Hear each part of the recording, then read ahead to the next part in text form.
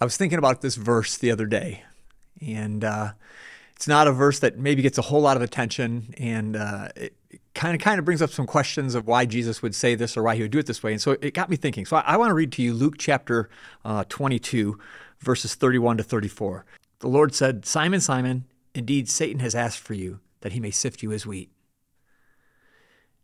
But I have prayed for you that your faith should not fail, and when you have returned to me, strengthen your brethren.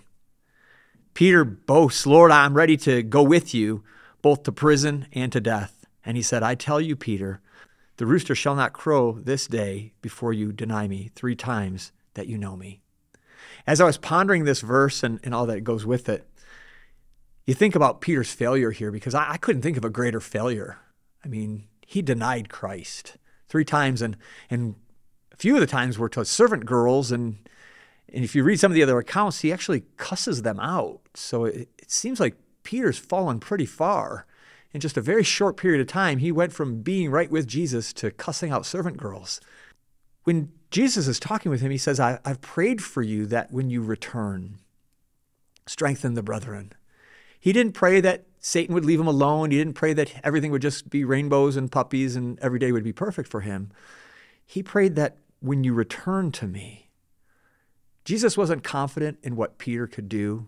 He wasn't confident in Peter's strength. Now, Peter surely was confident in his own strength. He says, Lord, I'm ready to go with you both to, to, to prison and to death. I mean, he, in his own might, thought, surely I can muscle through this. Surely I can tough it out. Jesus, I'm ready to do whatever you need me to do. Jesus knew otherwise, but he also knew the end. And that's the amazing part of the story that we have with Christ. I'm so thankful for that shed blood of Jesus Christ that knows the difference of your start to your end and all the in betweens and meeting you all throughout the way. Jesus was never confident in what Peter could do. He was never confident in Peter's resolve. He was confident in himself. And it's so important for us to remind ourselves that you didn't choose Christ, He chose you. You responded to that call. But that first call to love and to attention, to affection, that was Him reaching out to you, saying, Come unto me, you who are weary and heavy laden, I'll give you rest. He was offering you something, and he still is to this day. And I think that's so amazing, and I'm so thankful for that. So, if I want to leave you with a message today, my message that I want to leave you with today is don't spend time trying to be something you're not. Our relationship with Christ is about trying to discover who we were created to be. Peter really felt like he had the strength and determination, but he had to go through this difficult process to learn something.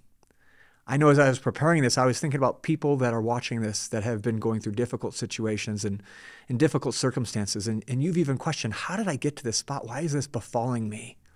And I want you to understand that Jesus Christ, the author and the finish of our faith, He's taking us through various trials and tribulations to perfect us, to complete us, that we could be the greatest reflection of Him, that we could be emissaries for this kingdom.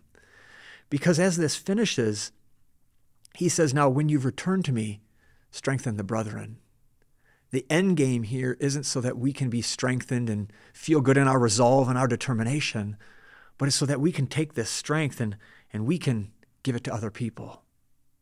So, yes, if you're watching today, you've probably made some mistakes.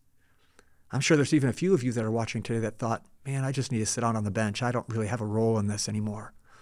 I want you to hear this voice from Christ Himself saying, when you've returned to me, get back in the game. Get off the bench and give your gifts, give your talents, give the very things that I've given to you. The world has need of you. It's time for us to get out there and share this message of hope. And if you've been through a difficult situation, don't give up now. Jesus is right there with you.